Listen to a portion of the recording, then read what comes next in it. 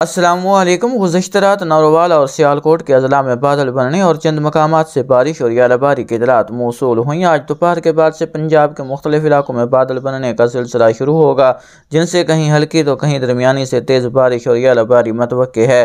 ताज़ा तरीन सेटेलाइट तस्वीर पर नज़र डालें तो वफाकी दारकूमत इस्लामाबाद, रावलपिंडी मरी के इलाकों पर गरज चमक के बादल मौजूद हैं और कुछ मकाम पर बारिश भी हो रही है।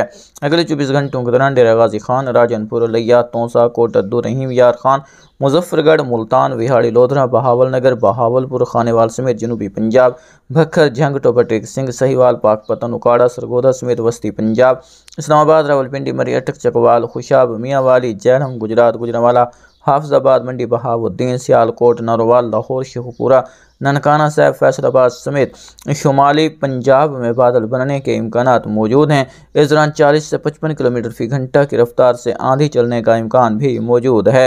इस दौरान कहीं हल्की तो कहीं दरमियानी से तेज़ बारिश और यालाबारी भी मतव है।